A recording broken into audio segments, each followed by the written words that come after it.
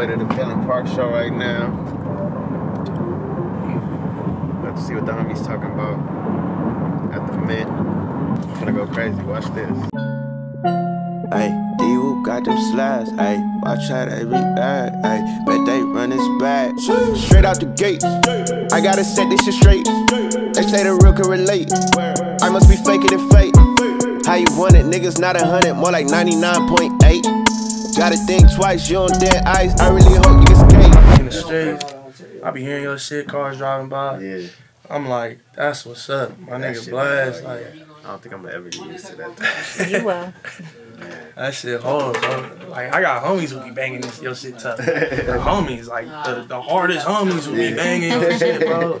Like, I be niggas playing videos and shit, your ass in the back singing and shit. they still are a majority in the wealth holding in the U.S. though. So if you correlate voting to wealth, all it is is they're spending money within themselves. They're just gener- they're just regenerating wealth within themselves. So they're going to like you got Chinatown, you got Koreatown. Even if they don't like each other, they're still spending money with, each- with each other. And people that's coming from overseas, they giving them their resources and being like, okay, I'm gonna give you a loan, open up the shop. You owe me money till you get your shop running, and then now you got your own shop, and that's how we keep our own shit popping. Black people just don't do that, so we can't re- just regenerate the wealth. You feel me? But if we did, it'd be the same thing. The vote wouldn't even matter, just because we still are Got each other. a majority of the spending I get what you population mean. though. So it's like think about how much these scammer niggas and shit spend on all that. If they was to spend that money on actually something that was actually progressive, then we'll definitely be advanced though. But that's why a nigga like me get rich. That's what we gonna do. Absolutely. Whatever he said, I follow it.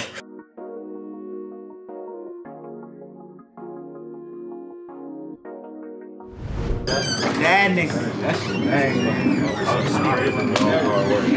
Oh, my boy doing the whole video thing. Oh, that's what he would do?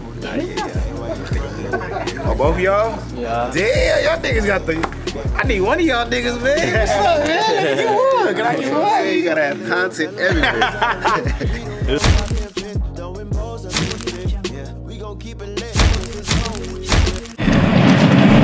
Performance went straight. That shit was straight. You see when I asked for, uh, I was like, yeah, I had the Sixtape. That shit was that shit was silent for like two seconds. Then everybody like, yeah. 29th though. Ooh-wee! I'm finna go too crazy, parlay. Time to go to sleep. The eagle must rest inside the nest.